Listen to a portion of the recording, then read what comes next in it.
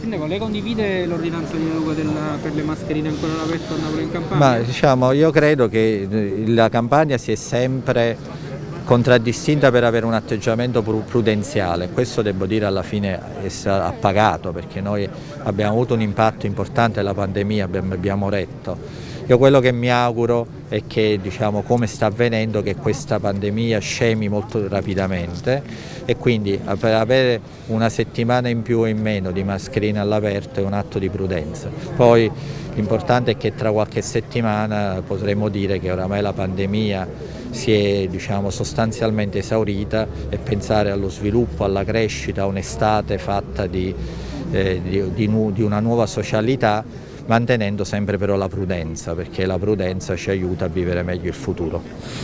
Grazie. Grazie.